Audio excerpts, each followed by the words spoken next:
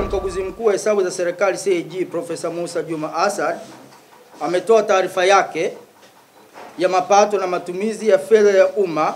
kwa mwaka wa fedha 2017-2018 na ripoti hiyo imehusisha serikali kuu na serikali za mitaa. Kwa uzito wa kipekee,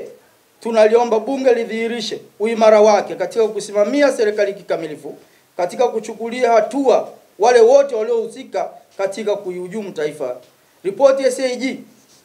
na taarifa ya ndugu Zito Zuberi Kabwe zichukuliwa katika mtazamo chanya, kinyume na kile kinachoone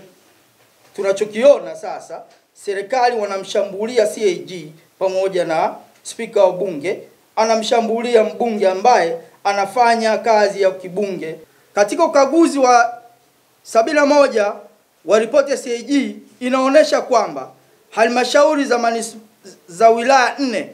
na halmashauri ya manispaa moja zilifanya malipo kwa wafanyakazi bila mkataba halali ambao kiasi cha shilingi bilioni mia mbili na kumi laki tisa milioni mia mbili na kumi na elfu tisini na tatu mia moja hamsini na mbili zilitumika. Moja katika halmashauri hizo inatoka mkoa wa Dar es Salaam ambayo ni halmashauri ya manispaa ya Kinondoni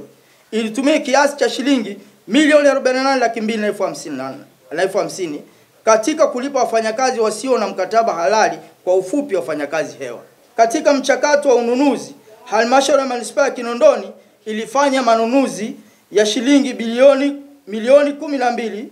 laki nane ishirini na halmashauri ya Kigamboni ilifanya manunuzi ya shilingi milioni hamsini na tatu mia tisa tisini na saba mia moja tisini na moja na halmashauri ya manispaa ya Temeke ilifanya manunuzi ya shilingi bilioni moja milioni mia saba arobaini na moja mia tano tisini na tatu na sabini na nne. Hivyo ni kudhihirisha kwamba katika halmashauri zetu hakuwa hakukuwa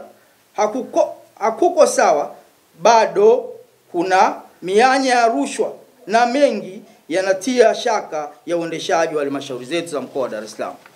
Katika ripoti ya CAG ya mwaka 2017 2018 imeibua upotevu wa fedha kiasi cha shilingi milioni 923 la, la 23 836,408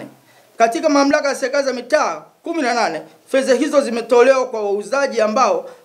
hawajaidhinishwa na manispaa husika, ambapo kufanya hivyo ni kwenda kinyume na kanuni ya 95 katika kanuni ya 131 mabano 4. Tunawaomba wananchi waungane nasi, vilevile vile wahusika waliopoteza hii rasilimali ya nchi yetu